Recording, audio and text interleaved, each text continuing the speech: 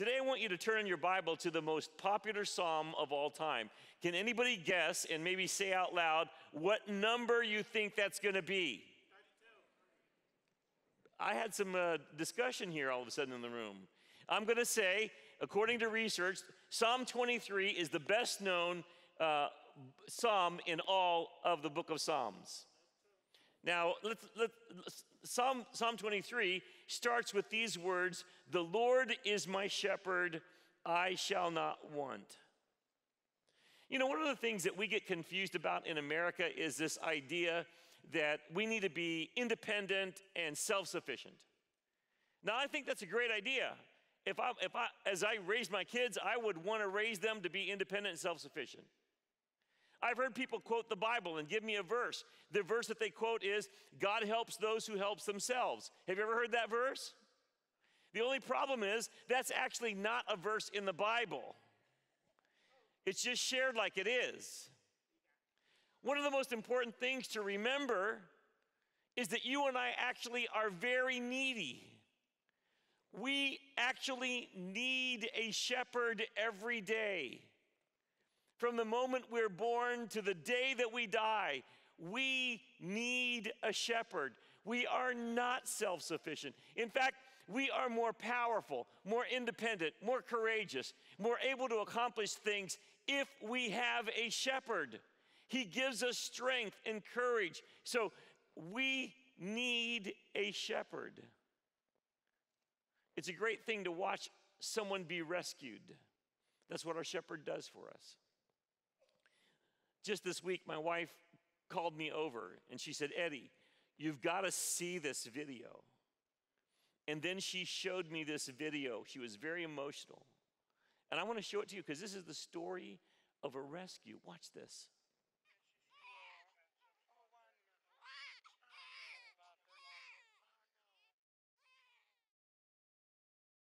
kidding me? She was in.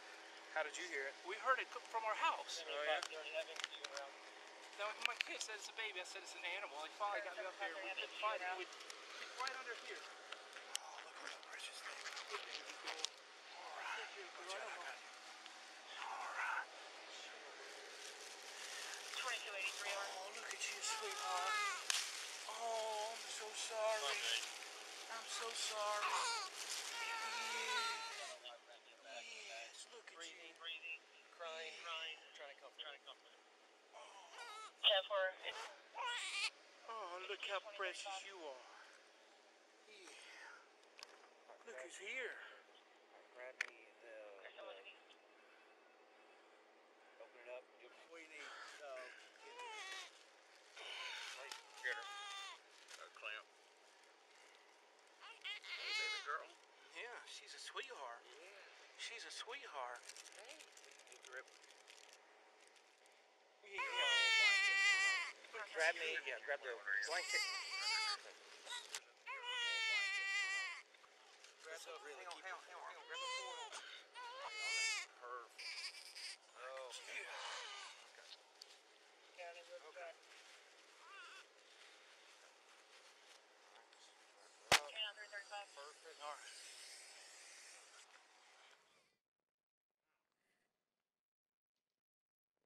There's a lot of things to think about in that video, but here's what I want you to think about. My wife says to me after we watch this together,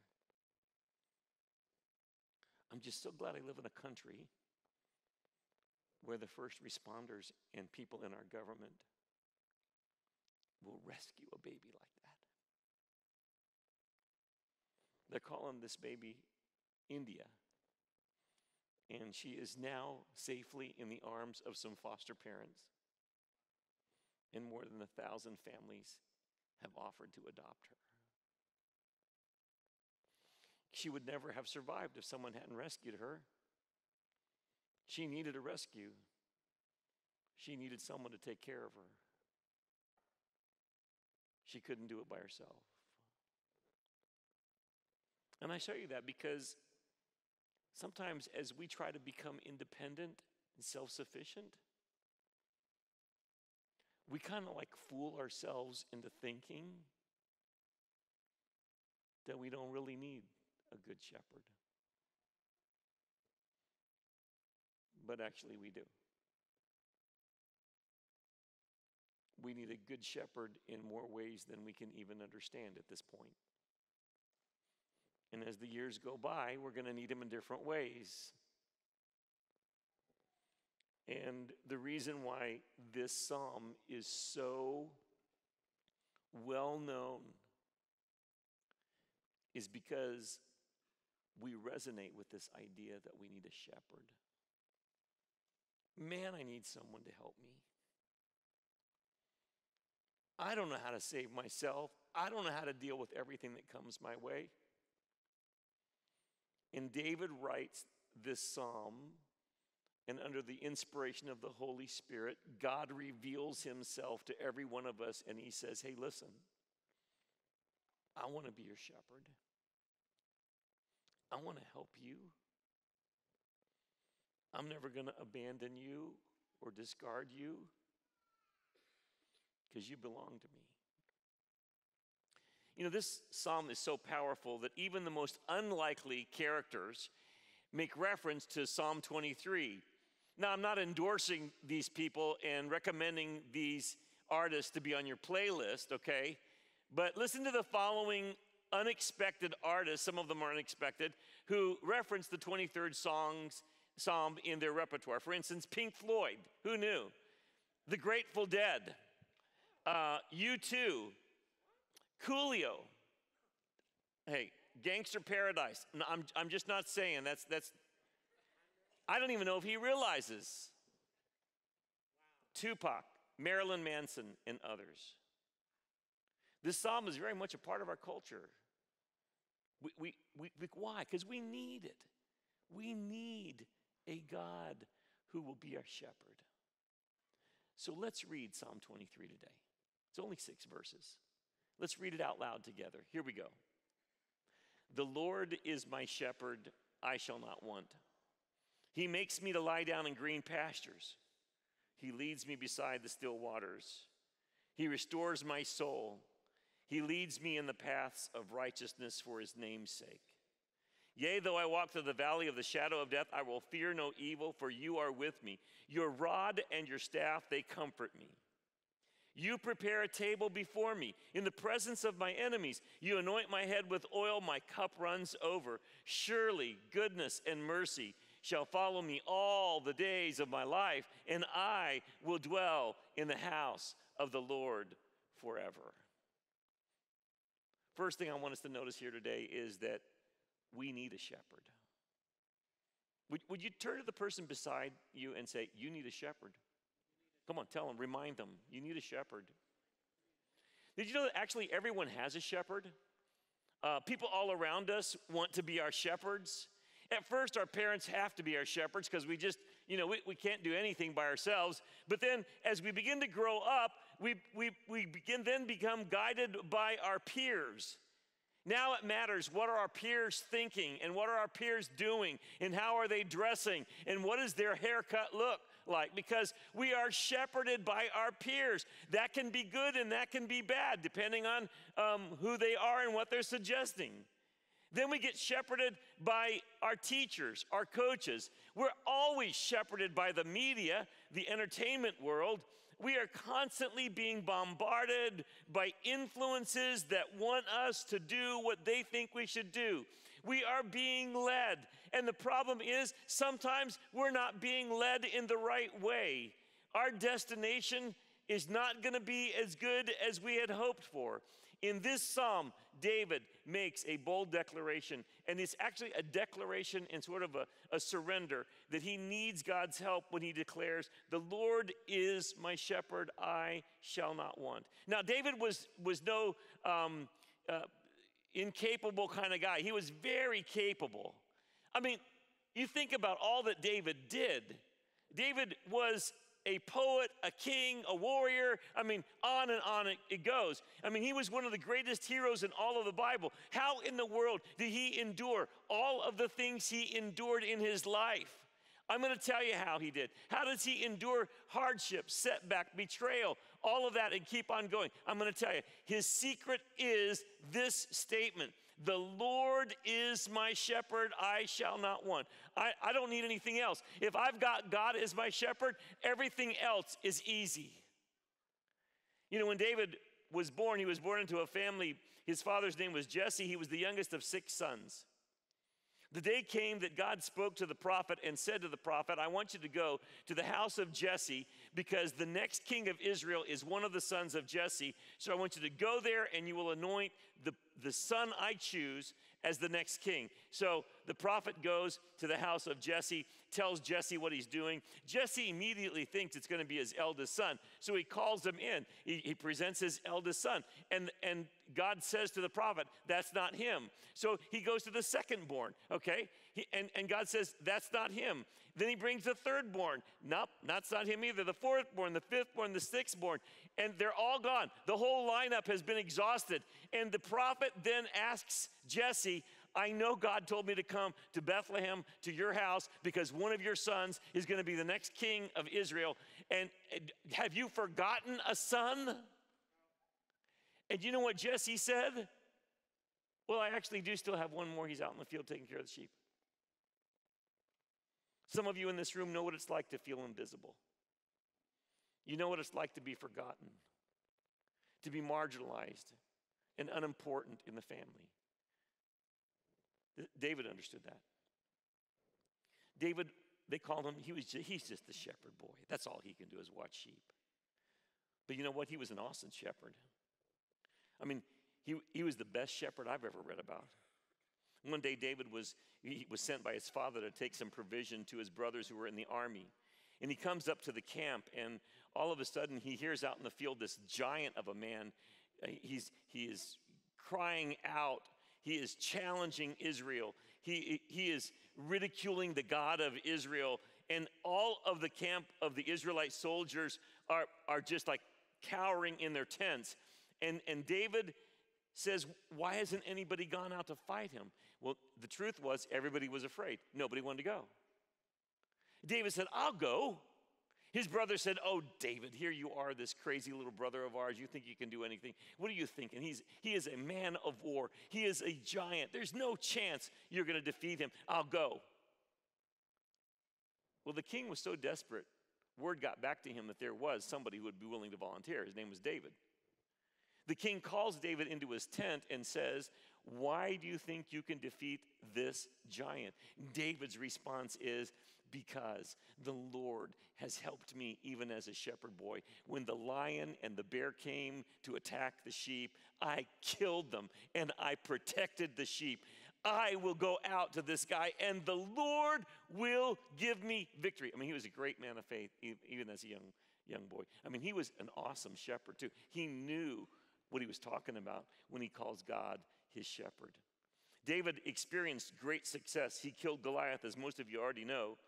And then David became a warrior in Israel. And he was so successful that one day, when he was with King Saul, the crowd began to chant a new song. And it went like this Saul has killed his thousands, and David has killed his tens of thousands. And at that, the, the king got jealous and angry and mad, and pretty soon David was, was on the run because the king was trying to kill him. He hadn't done anything wrong. The king becomes his enemy, and yet David remains loyal to the king. When he had opportunity to fight back, to take revenge, he refused to do it. He says, I will not lift my hand against the Lord's anointed. How did David sustain himself? Because the Lord is my shepherd. There was another very tough time in his life when his own son Absalom uh, mounted a rebellion against his father. He made it very clear that if he were to capture his father, he would kill his father and take over the kingdom.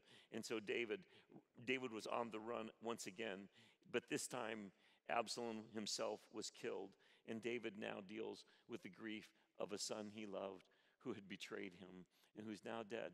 And how does David sustain himself? Because of this the Lord is my shepherd. David would call to mind the greatness of God, the great power of God, His great understanding, His providence, His knowledge, His glory, and all of the circumstances of His life, they, were brought into proper perspective when David remembered that the Lord was his shepherd. You see, if you have an eternal, all powerful, all loving, all forgiving, merciful, generous God as your shepherd, your present circumstances always seem manageable by comparison. The most important thing for us today is to make this declaration and to cry out and say, God, I want you to be my shepherd.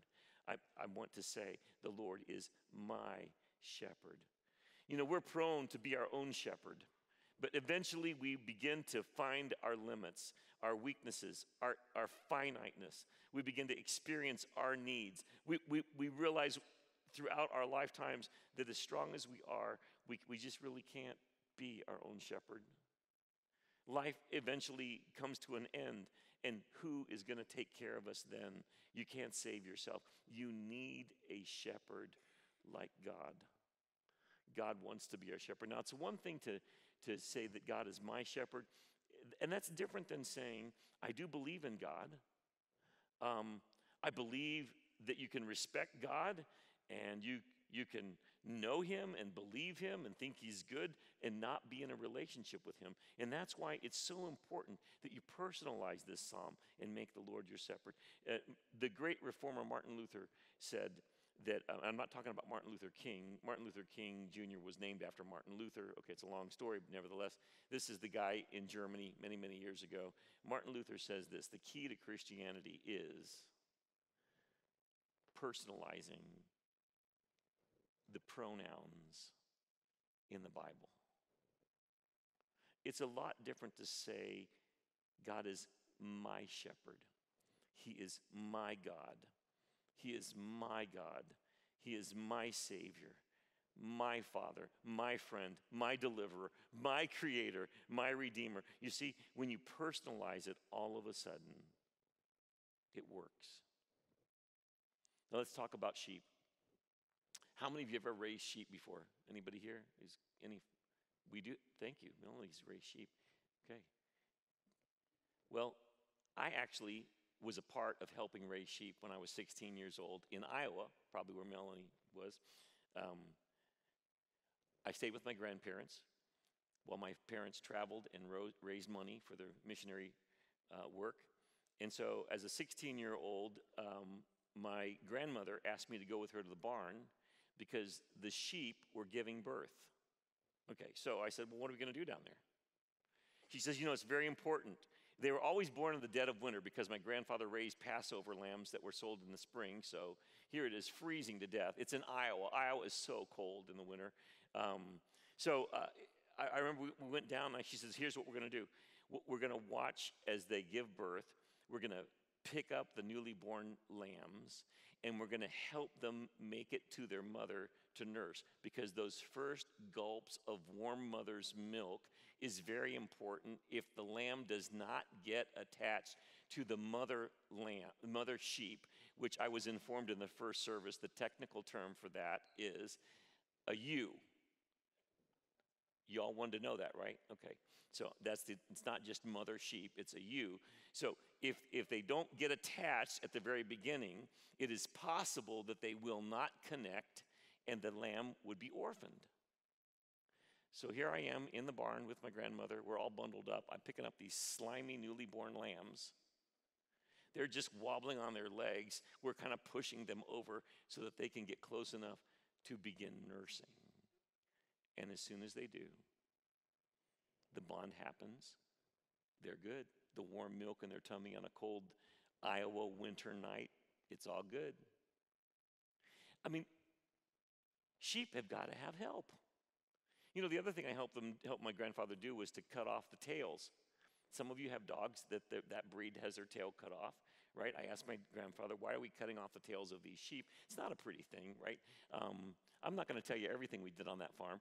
Uh, and I'm not even going to tell you why specifically we cut off the tails, other than that my grandfather said, Well, you know, sheep are messy, and this helps them stay cleaner than they would otherwise be. You can figure it out yourself. So my point is this sheep need a lot of help. Did you know that, the, that there are more mentions of sheep in the Bible than there are any other animal? And sheep are always compared to people. And God is the shepherd. And why? Because you and I are more needy than we sometimes are willing to admit. But sheep are needed, needy. I mean, they don't run fast. They can't bark. They can't hiss, claw, kick, or bite in any way that would scare off a predator. You know what sheep are? They're pretty much wolf bait unless they have a shepherd. The shepherd is there to guide them and take care of them and to defend them. Secondly, sheep need a relationship with the shepherd because that's the key to their survival. Did you know that the word shepherd and the word friend in Hebrew are related? They kind of same. They both come from the same root. When shepherds um, uh, lead their flock, especially in the Middle East in the time of, of Jesus, they would lead their flocks to the watering source.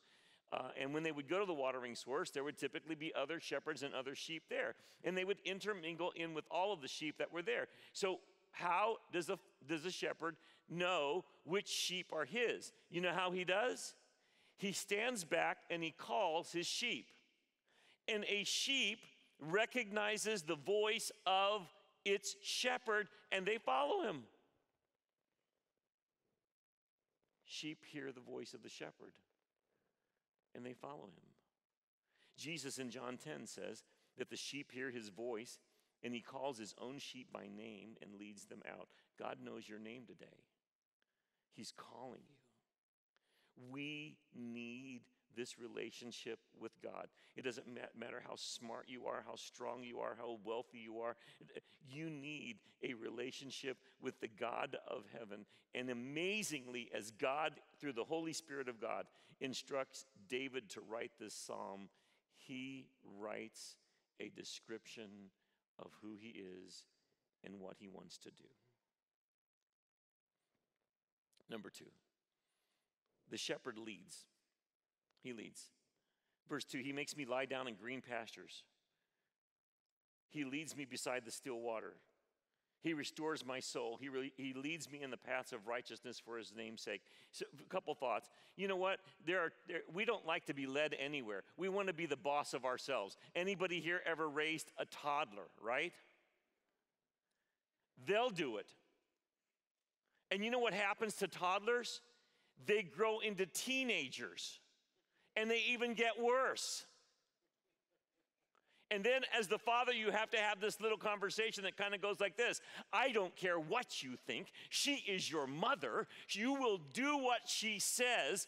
You don't know everything like you think you do. I don't know if you're a father or never had that conversation. So we read about how the God's going to lay us down in green pastures, and our natural tendency is uh uh-uh. uh I don't want to lay down. You know who never wants to take a nap? Kids. You know who always wants to take a nap? The parents. You know, if you're going to have a shepherd, he's going to tell you what to do. He's going to lead you. Seriously.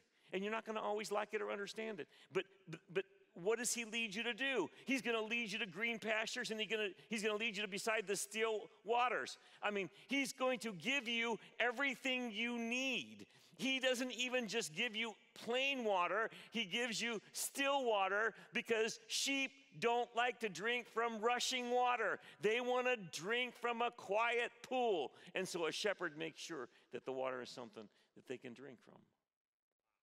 Because you see, the shepherd wants to take care of you. And he knows what you need. And he knows how to do that. He also is going to lead you down the path of righteousness for his namesake.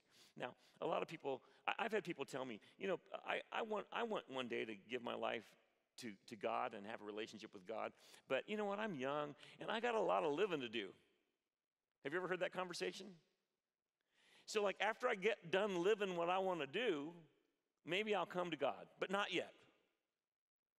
Here, here's what's the theory behind that that the paths of righteousness are not the same paths of joy satisfaction, and a good time. That's what, that, that's what is behind that. The actual truth is, Jesus says that the thief comes not, not to, he doesn't come except to steal, to kill, and to destroy. And what does Jesus have to say? Jesus says, I'm actually here to lead you down paths of righteousness so that you will have life and have it more abundantly. Because a lot of the plans that people execute in their lives don't turn out very good. They end up with a broken heart, shattered families, and a lot of problems all the way around. But God says, if you'll follow me, I will give you everything you desire. There's even a psalm that talks about that. I'm not going to add any sorrow to it. So follow me. Let me lead you. I will lead you. So, uh, Proverbs 9:10 says, "The fear of the Lord is the beginning of wisdom, and the knowledge of the Holy One is understanding." If we would just trust the shepherd, we are righteousness challenged people. Proverbs 14:12 says, "There's a way that seems right to man, but the end is the way of death." Just think about all the plans you've had that you knew weren't the right way to go, but you did it anyway because you thought you could be the one person in all of human history to violate the express will of God and succeed. Really? You won't. Third, God is present in our bad times. Yea, though I walk through the valley of the shadow of death, I will fear no evil, for you are with me. Your rod and your staff, they comfort me. Now, um, I just want you to notice that it says that, that if God is your shepherd, you will still walk through the valley of the shadow of death. There's a lot of people who get mad when in their life something bad happens and they're walking through the valley of the shadow of death. Some, something bad happened and they're mad at God. Did you know God never promised that He would take away the valley of the shadow of death? He just promised that He'll go with you. No matter what you're going to go through, He'll be there with you. But if you're mad at God because you live on planet Earth in our fallen existence and bad things happen, people die, people get sick, divorces happen, uh, all kinds of bad things happen. That's not God's fault. God is there and He says, actually, I'm not promising to take away all your trouble. I just promise to go with you. I will go with you.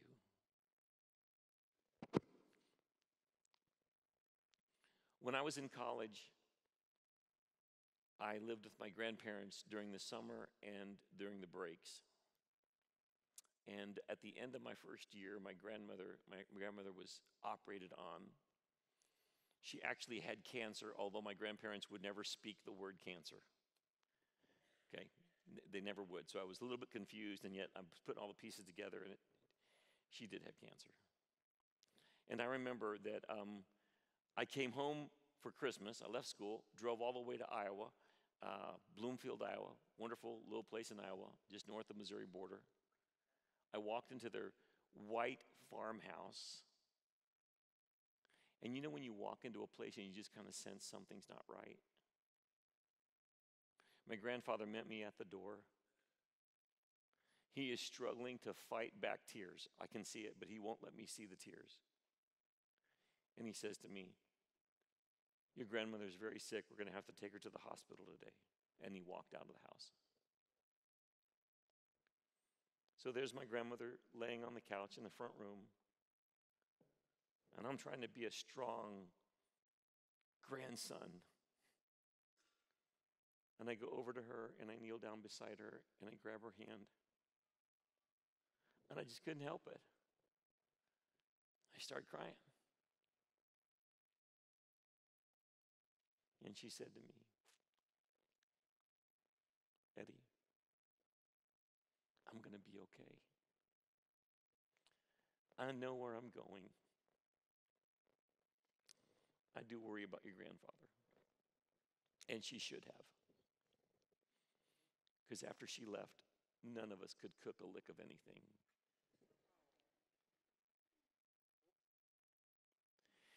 But my grandmother was the first one in my family to die. And in that valley, as she spoke to me, I could sense the shepherd was with her. And she was the strong one.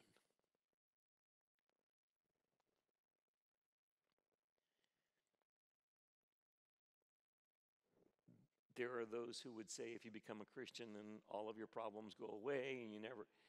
And that's just not what the Bible says because in Psalm 23, it's when you walk through the valley of the shadow of death.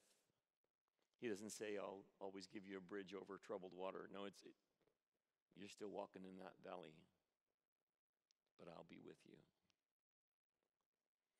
Very interesting that ends that section with this statement um, my, Thy rod and thy staff, they comfort me. They comfort me. Um, by the way, did you know our troubles actually accomplish part of the plan of God in our life? Because when we are in trouble and going through trials, God uses the pain to develop our character and make us stronger. And you don't see it right then, but eventually you'll turn around and you'll notice, well, I'm, something happened to me. I endured that. I made it through. And in the crucible of that pain and struggle and sadness, somehow I fell more in love with God because he helped me. 2 Corinthians 4:17 says this, for our light affliction which is but for a moment is working for us a far more exceeding and eternal weight of glory. 1 Corinthians 10:13 No temptation has overtaken you except such as is such as is common to man, but God is faithful, who will not allow you to be tempted beyond what you are able, but will with the temptation will also make a way of escape that you may be able to bear it. And God says, I promise, I'm going with you in the valley. And then your rod and your staff, they comfort me. Every shepherd boy knew he had to master the use of two pieces of equipment the rod and the staff. The rod was kind of like a billy club that a policeman would carry, a, you know, a, a thick, heavy it, becomes a weapon. And the shepherd boy would hone his skills at throwing that, that rod, that, that club, and hitting the target. So when the predator came, whether it was a wolf or it was a, you know, a, a, a lion or a bear, according to David, or maybe a sna- snake, that club he would take out and he would defend his sheep. He would throw that, that rod and hit that predator. It would scare it away or kill it. And the sheep are comforted by the fact that they have a warrior shepherd who won't let them die, who will take care of them. The other thing that the shepherd has is a is you know we call it the shepherd's crook. You know what I'm saying? And I, I don't know if they are all shaped beautifully like all the pictures, but anyway, it was something like that uh, with a little curve at the end. And it wasn't there to beat the sheep, it was there to tap them and guide them and show them where to go. It also was there to reach down the ravine and, and pull the sheep up that had gotten lost or to pull them out of the thicket. You know, that's why those things comfort the sheep. Do you know you have a shepherd who will go to bat for you? He will help you, he will defend you. Four, God refreshes us even in our battles. You prepare a table before me in the presence of my enemies. You anoint my head with oil. My cup runs over. Once again, you know what? God doesn't promise an enemy free life even for the believer. Did you know that? You know what he does promise? He says, in the middle of all the battles of your life, the enemies that you may have, uh, I'm going to be able to prepare a table for you so that in the middle of the battle, you and I are going to sit down and I will feed you. I'm the cook, I'm, I'm setting the table, I'm going to prepare the table for you. And there in my presence, in the middle of the war you're fighting, I am going to refresh you and strengthen you. You know, if you're waiting for the world, all of the world, to love you and be at peace with you before you can release your stress and find a place of rest, you're in trouble. If you learn how to sit at the, how to sit at the table of the shepherd in the middle of the battles of your life, you'll be okay. This psalm is talking about real life. I'm not going to ask how many of you have enemies. Because you know, we're Christians, we're not supposed to have enemies, right? Amen? Except for we do. You know, there are people that don't like you, there are people that hate you, and you don't even know why. Did you know there are people who are against you? Uh, you're not sure what to do or how it happened, or if you're back to the equation of God, if you're really there and you're really good, then I shouldn't have any enemies. And God says, I never said that. You made that up. What I said to you is, when you have enemies, I will prepare a table for you so that in the middle of the battle, I will refresh you and I'll be with you. And by the way, your enemies don't get the last word. I do. You are mine. I love you. I will take care of you and support you. In the middle of our enemies, the battles, He will prepare a table for us. He will anoint our head with oil, and our cup runs over. You know, one of my favorite stories is the story of uh, Elisha in 2 Kings chapter 6, where Elisha and his servant are in this particular town. The king of Syria has learned where they are. He sends horses and chariots and the army. He's going to go and kill Elisha because he was told that, that the king of Israel always knew where they were going to go because Elisha would tell them. And finally, the, the counselors around the king of Syria said, Here's how what's going on is what you speak in your bedroom, the God of Elisha whispers to him, and he tells. And so, if you want to, if you want to eliminate the leak, you're going to have to get rid of this prophet who hears from God. So the king sends this army, horses, chariots, soldiers, surrounds this village. Early in the morning, the servant of Elisha goes out, and when he goes out, he sees the chariots and the horses and the army, and he runs back in. And he says, "Elisha, we're in big trouble. The army is surrounding us. We are dead meat." Elisha says, "No, it's not like that." He takes him outside, and Elisha prays, God, would you open his eyes?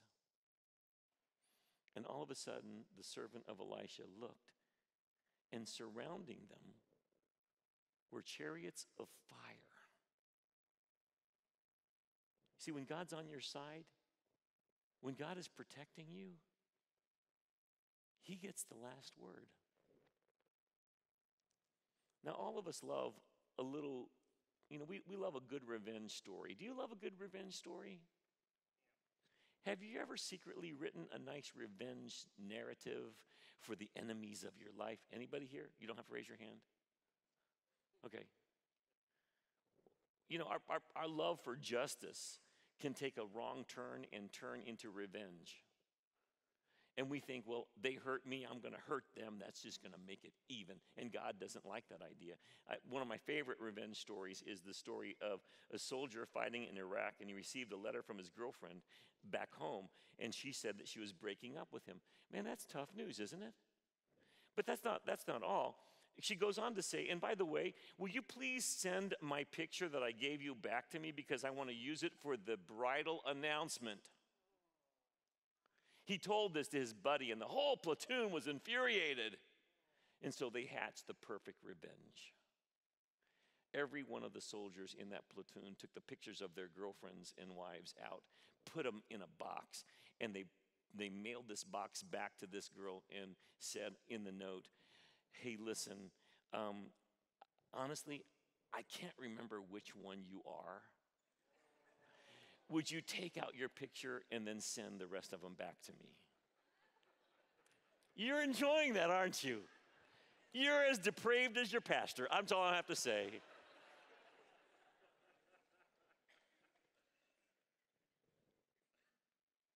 But you know what God says? Romans 12, 17 to 21. Repay no one evil for evil have regard for good things in the sight of all men. If it's possible, as much as it depends on you, live peaceably with all men. Beloved, do not avenge yourselves, but rather give place to wrath, for it is written, Vengeance is mine, I will repay, says the Lord. Therefore, if your enemy is hungry, feed him. If he is thirsty, give him a drink for in so doing you will heap coals of fire on his head. Do not be overcome by evil, but overcome evil with good. And when you forgive and when you release, your enemies lose their power. But God never promises you won't have enemies. So stop being mad at God because your expectation was if you're a child of God, no bad things and no enemies. But the Psalm 23 says, nope, they're still coming, but I'm with you and I've got you. Lastly, we need to trust God's goodness and mercy. This last verse is one of my favorite. Read it with me. It's going to be on the screen. It goes like this Surely goodness and mercy shall follow me all the days of my life, and I will dwell in the house of the Lord forever. Hey, guess what? His mercy, His goodness, and His mercy is with you today. Because this is a day of your life. Yeah, but there's all kinds of bad stuff going on. Yeah, yeah, yeah, I get it. He knows it. He's with you. But he says, Surely goodness and mercy shall follow me all the days of my life. And then I will dwell in the house of the Lord forever. Seamless. You see the seamless, continual narrative for the life of someone who has made God their shepherd. Have you made God your shepherd? Have you surrendered your life to Him? Are you still trying to be strong enough, good enough, independent enough?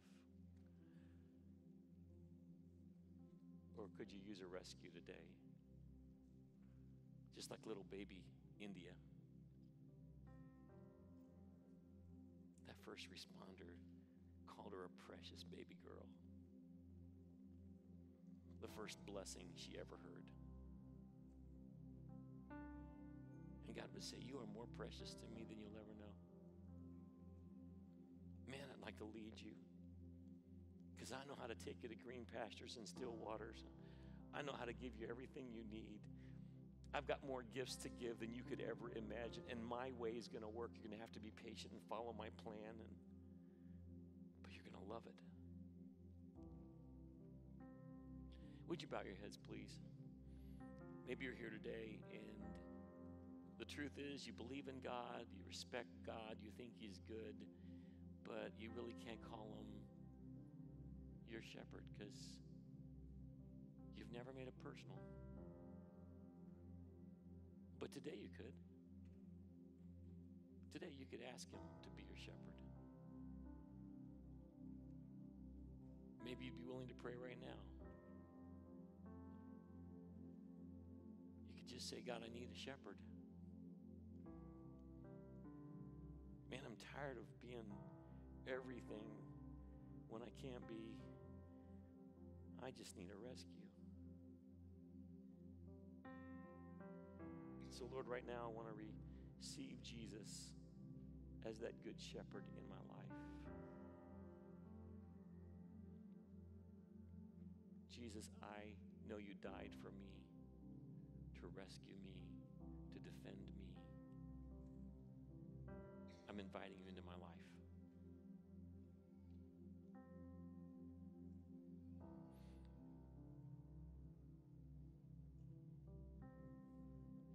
Here today would say, That's what I'm doing right now.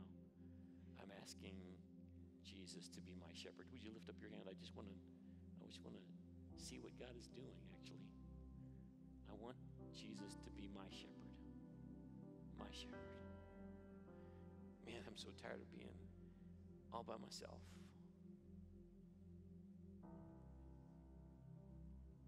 Maybe you're here today and you're carrying a load.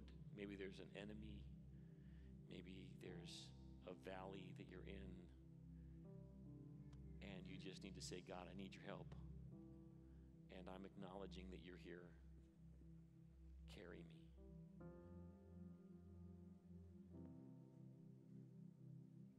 Dear God in heaven, how could we ever thank you for being so good to us? You could have been an aloof, unconcerned ruler of heaven and earth. But you have the time, attention, interest, love, compassion, mercy, forgiveness, that you would involve yourself in our lives individually. You know us each by name. We pray that you would receive our thanks today, even as we declare once again, like David, that we need you to be our shepherd.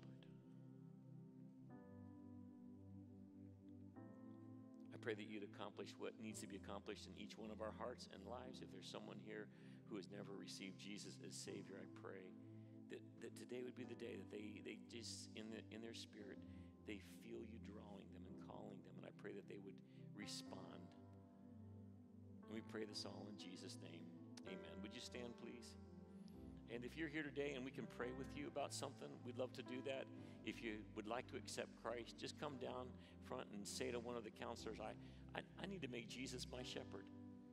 As we sing, you come.